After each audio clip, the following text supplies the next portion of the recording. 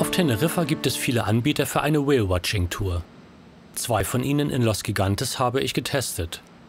Die kleinere MS Katrin und die große Flipper Uno.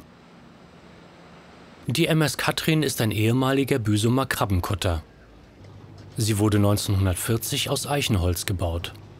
Nach dem Einchecken und einer kleinen Ansage geht es raus zu den Delfingründen.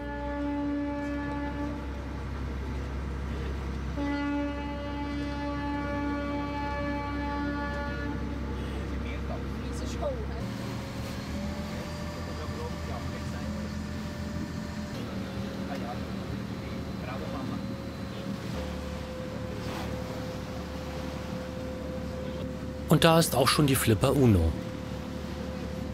Sie ist deutlich größer und die Tour dauert drei statt zwei Stunden. Sie wird mit Musik und lauten Ansagen begleitet. Das ist nicht jedermanns Geschmack.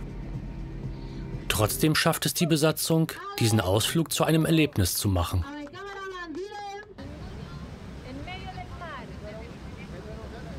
Auf dem Meer sind beide Boote im Seegebiet der Tümmler vereint. Die Wahrscheinlichkeit, Grind oder Pilotwale zu sehen, ist eher gering. Delfine sind aber sehr verspielt und neugierig. Sie sind deshalb regelmäßig bei den Watching-Touren anzutreffen.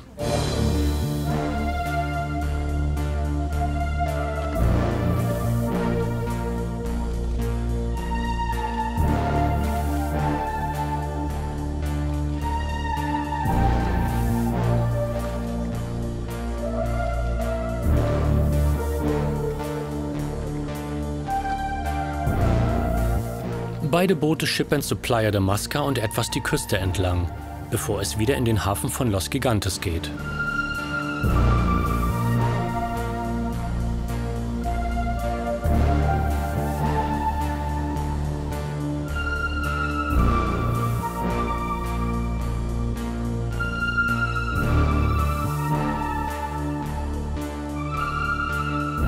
Für welchen Anbieter man sich auch entscheiden mag.